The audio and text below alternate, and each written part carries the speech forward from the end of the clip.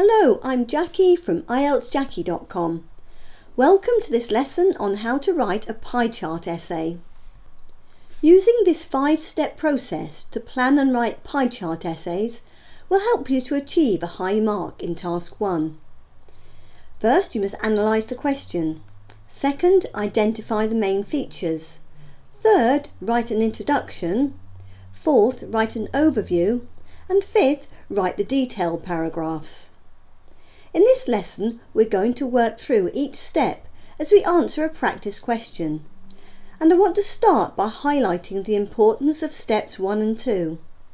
It's essential that you learn how to do this planning stage properly if you hope to write a high scoring essay. Before we start, here's a model essay structure that you can use as a guideline for all academic Task 1 questions. Ideally, your essay should have four paragraphs. Paragraph 1 is the introduction, paragraph 2 an overview. In paragraph 3 you should write about the first main feature and in paragraph 4 you should write about the second main feature of the pie chart. We now have everything we need to begin planning and writing our essay. Now here's our practice question. The chart below shows the reasons why people travel to work by bicycle or by car. Summarise the information by selecting and reporting the main features and make comparisons where relevant. Write at least 150 words. The format of every academic Task 1 question is the same. Here's our practice question again, with the words that will be included in all questions highlighted. Every question consists of sentence 1, which is a brief description of the graphic, sentence 2, which is the instruction sentence, and the graphic itself, which might be a chart, graph, table, pie chart, etc. Sentence 2 tells you what you have to do. You must do three things. Select the main features, write about the main features and compare the main features. All three tasks refer to the main features of the graphic, so you do not have to write about everything. Just pick out two or three key features and you'll have plenty to write about. The graphic in pie chart questions should not be difficult to interpret. Each question is being created to test your language skills and not your mathematics ability. Pie charts always show percentages or proportions. Apart from that, they're essentially the same as bar charts and line graphs, in that they're a way of presenting data visually. Remember, all you're looking for are the main features. These will usually be the easiest things to spot. There'll be lots of information in the graphic to help you identify them. Here are some useful questions to ask. What are the units of measurement? What are the time periods? What can you learn from the title and any labels? And what's the most obvious trend? Are there any notable similarities? Pie charts generally have titles and labels or sometimes a key instead of segment labels, as in our practice question. The key explains what each segment of the pie chart represents. I give more detail on how to use these questions, plus downloadable checklists for identifying the main features of all seven different types of IELTS Task 1 questions in the lesson on how to understand and analyse Task 1 questions. There's a link to it in the notes below this video. So what information is contained in our two pie charts? They show two different methods of travelling to work and illustrate the reason why people choose these types of transport. And what main features stand out? Well, there are two main features. Main feature 1 is the largest proportion of people who cycle do so for health and environmental reasons. And main feature 2? The highest percentage of people who drive do so because it's comfortable.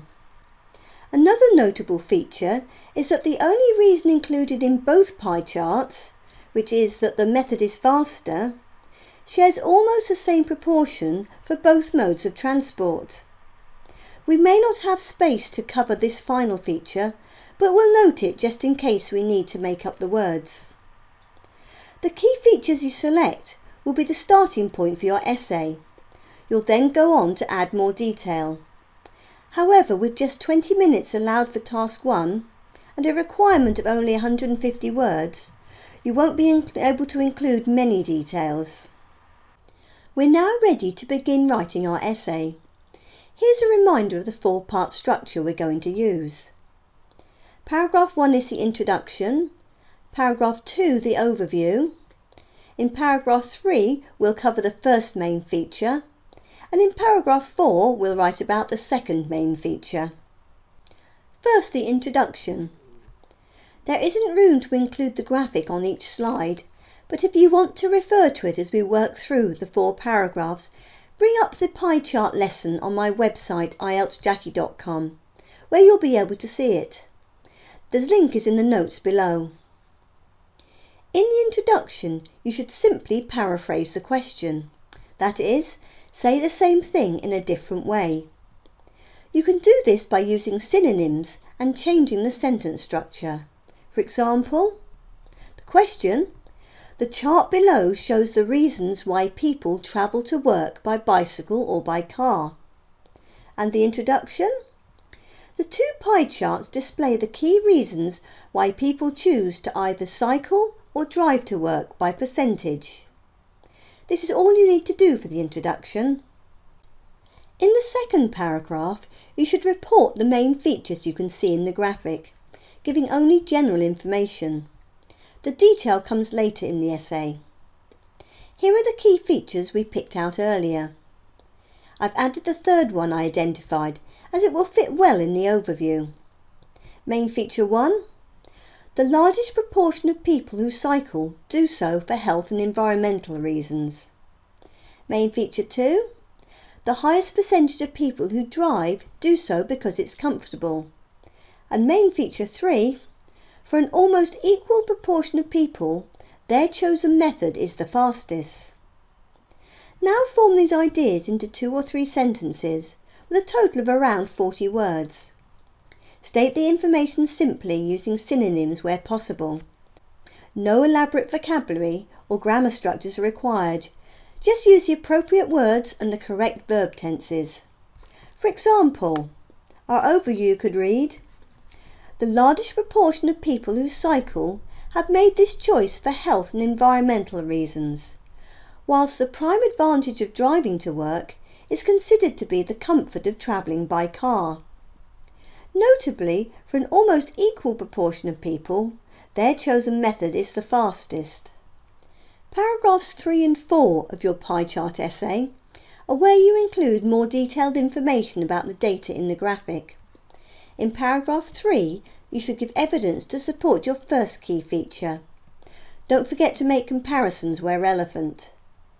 Here's our first main feature again. Main feature 1.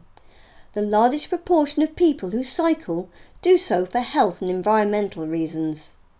And this is an example of what you could write. Taken together, health and fitness and less pollution are reasons given by over half of all people who prefer travelling by bike.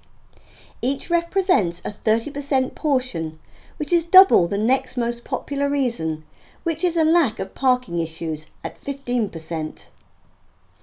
For the fourth and final paragraph, you do the same thing for your second key feature. I've added the third main feature again, as it will round off the essay well. In an exam situation, I would include it if I had time. Main feature 2, as a reminder, is the highest percentage of people who drive do so because it's comfortable. And main feature 3, for an almost equal proportion of people, their chosen method is the fastest. And here's an example of what you could write. A different set of concerns has affected the decision of those who choose to commute by car. Comfort is by far the most significant factor at 40% of people, but distance to work is a more important concern for just over a fifth of drivers. For 14% of people, a faster journey time is the key factor, compared to a figure of 12% for cyclists, who find their means of transport quicker. I just want to say a quick word about verb tense in this sample essay. Since there's no time frame given in the question, you could use either the present simple tense or the past simple tense. I've used the present simple tense. Whichever tense you choose, remember to be consistent throughout the whole essay. Here are the four paragraphs brought together to create our finished essay. Pause the video and read through it so that you can hear how the four paragraphs flow from one to the other. This sample pie chart essay is over the minimum word limit, so you can see that you don't have space to include very much detail at all.